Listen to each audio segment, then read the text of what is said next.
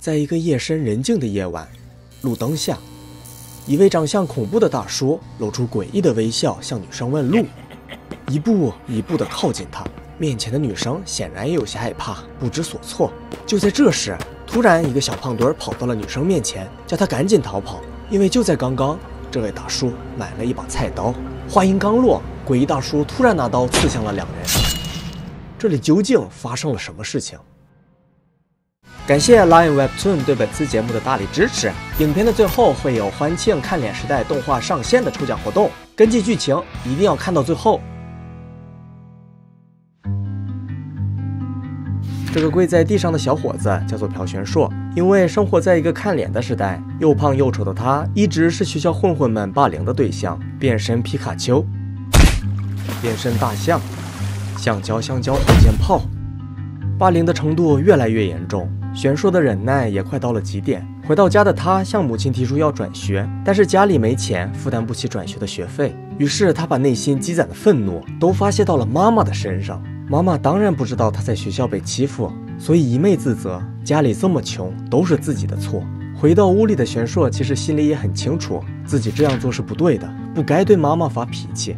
第二天，妈妈还是背着玄硕早早来到了学校，和班导商讨玄硕转学的事情。但是在学校，妈妈同样被无视，被说到转学是很费钱的。与此同时，玄硕像往常一样被同学们拳打脚踢。意外看到这一幕的妈妈非常的生气，她愤怒地冲向前，呵斥着欺负儿子的恶霸们。这时，玄硕却反而让妈妈住手，甚至爆了粗口。妈妈愣在一旁，在向恶霸道歉之后，让妈妈赶紧回家。那一刻，他握紧了拳头，心里默默地喊着：“我是个真正的废物。”晚上，他回到家，看到各种催款单塞满了邮箱。在这样穷困的情况下，妈妈还是决定帮玄硕转学，叫他不用担心学费的事情。妈妈的这句话让他百感交集，因为妈妈已经知道了在学校玄硕被欺负的事，但是为了给儿子面子，还是假装不知道，泪水像雨滴一样掉了下来。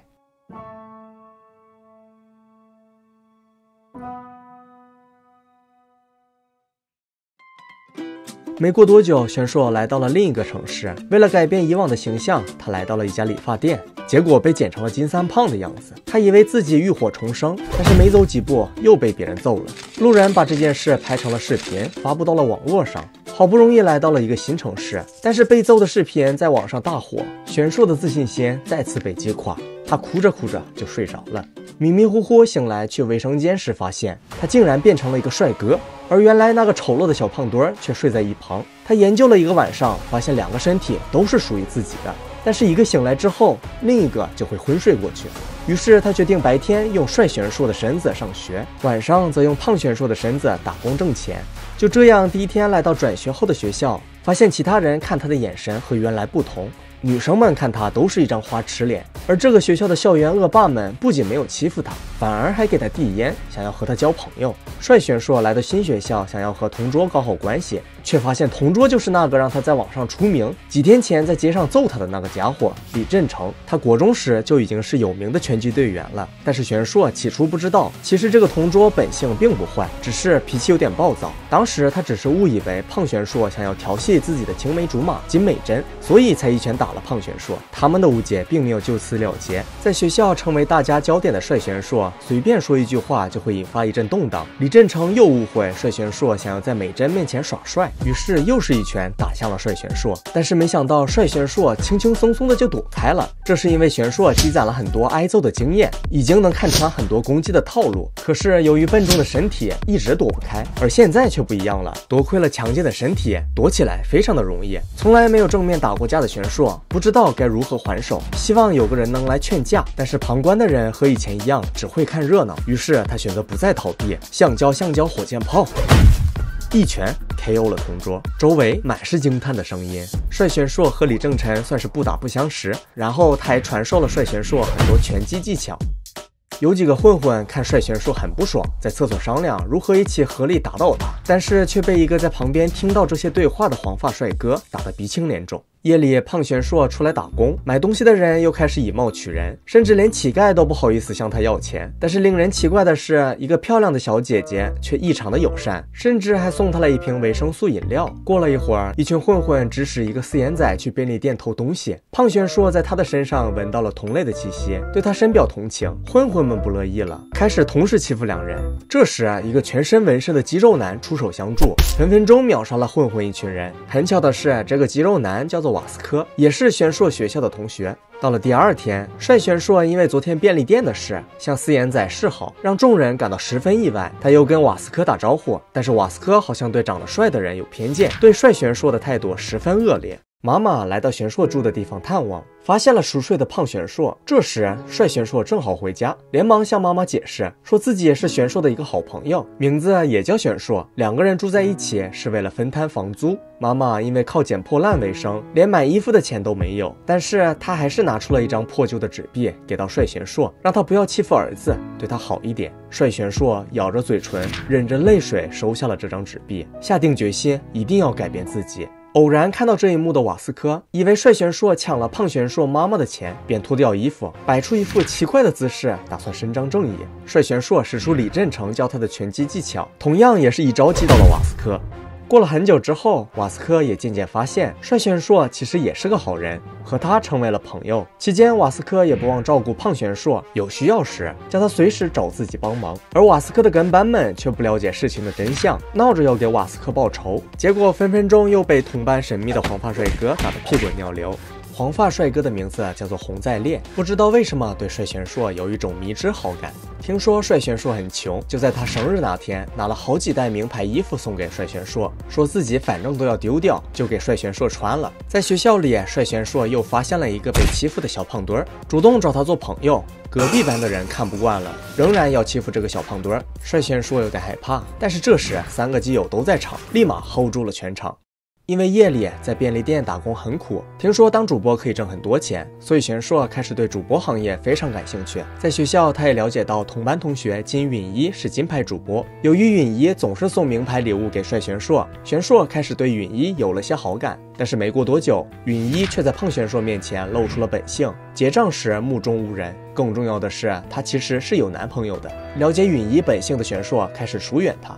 朴赫娜也是一个暗恋帅玄硕的同班女生，因为在暂烈送她各种名牌衣服之后，赫娜误解帅玄硕也是富家公子，自己又出身平庸，没什么钱，无奈只能眼睁睁地看着允一抱得美男归。不服气的他，也开始学允一做起了主播，想要挣钱。何娜的排名很快就跟上了允一，这让允一坐立不安，并且他还发现自己的大金主江南房地产大亨也转移了阵营。但是谁知这一给允一充钱，俗称江南房地产大亨的人，竟然是生活在垃圾场一样的屋子里无业游民的大叔，靠着父亲的残疾人补助金。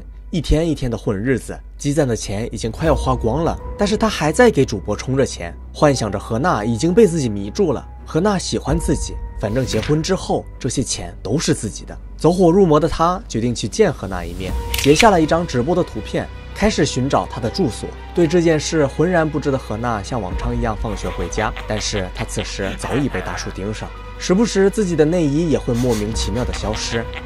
晚上在便利店打工的胖玄硕也发现，这位大叔最近每天都会来便利店，而今天他一直看着何娜的直播，不好被发现了。胖玄硕赶紧假装没有看到，结算起每天都会买的烧酒，和今天。另一边，何娜出门丢垃圾，遇到了那个长相诡异的大叔，一步一步上前问路，上演了开头的那个场景。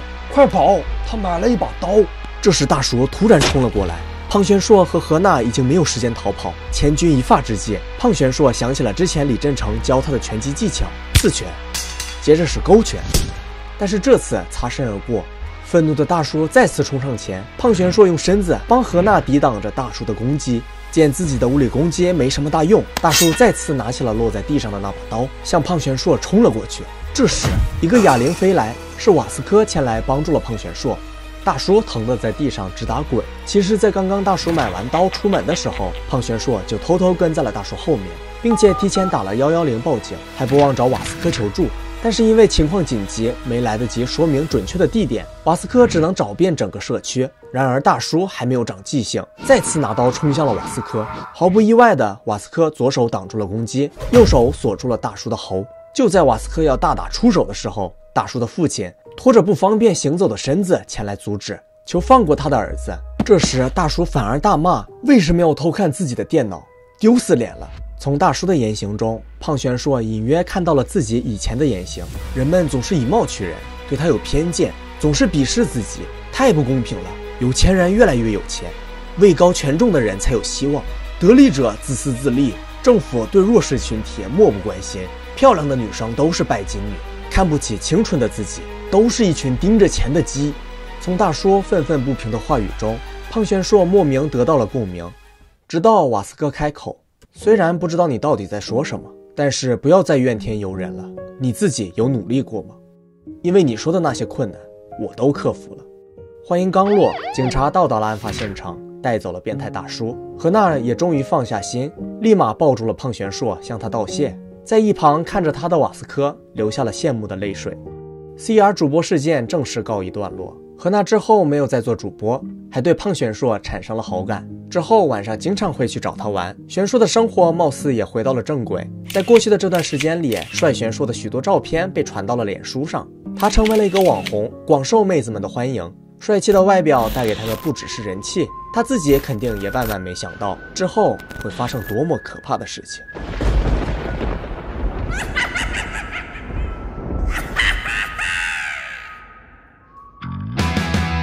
好的，以上就是看脸时代第一话到第三十三话 CR 博主外加一百一十三话跟踪狂的开头部分内容了。对这部作品感兴趣的朋友们，可以在 Line Webtoon 免费继续观看哦。借看脸时代动画正式上线，非常感谢有机会和 Line Webtoon 合作，给予粉丝们好礼回馈。只要你点赞本期影片，并且留言看脸时代中你最喜欢的角色及其原因，我们就将从留言的粉丝中抽取三位幸运观众，寄出看脸时代和女神降临的实体周边产品。因为寄送问题，实体周边这次仅限于居住在台湾地区的粉丝朋友们，还请大家多多包涵。除了实体周边，Line Webtoon 也提供了一千份免费代币兑换代码，只要输入李查明下划线一二，即可直接获得回馈型代币，数量有限，送完为止。详情请看影片资讯栏。最后再次感谢粉丝朋友们的支持，才能有本次与 Line Webtoon 的合作。周边抽奖活动将持续一周，欢迎关注频道社群获得最新讯息。那我们下期节目不见不散，Adios。